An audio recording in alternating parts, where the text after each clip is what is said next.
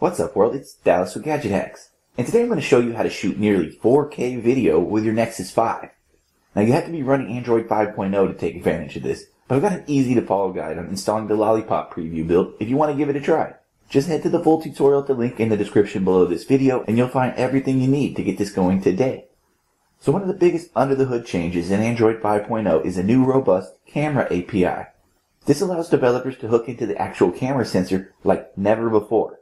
And as a result of that, picture quality can be greatly improved. Developer PKMX has been pushing this new API to its limits with his new app L Camera.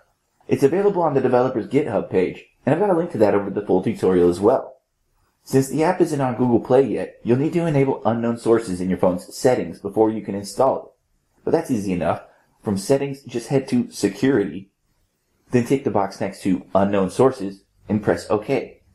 With that done, go ahead and grab the installer file for L Camera, then tap the Download Complete notification. From here, press Install, and then when that's finished, tap Open. This is a very robust camera app with lots of powerful options, so let me head somewhere with a little more headroom to give you a demo. Out of the box, you can just point and shoot like a regular camera app. But if you want to see some of the more advanced features, tap this three dot menu button. Under focus here, you can actually set the focus mode to manual. Then you can use this slider to set the focus point further away or closer up. Back in the main settings menu again, there's some awesome exposure options. Just turn auto mode off, then you can adjust the exposure timing and ISO setting. These two options work in conjunction with one another, so tweak one, then fine tune the other. There's one last still camera setting to see before we check out the video recording. Burst mode lets you take quick shots in rapid succession. And you can even set up focus and exposure stacking if you're okay with doing a little editing in post.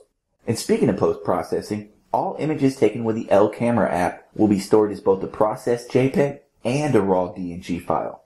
So if you have software capable of handling raw images, you can get much better picture quality with a little processing after the fact. But now let's go ahead and check out the video recording. Just tap the camera icon to switch modes, then you can still adjust focus and exposure manually if you want to. But let me just take a quick video so I can show you the killer feature here.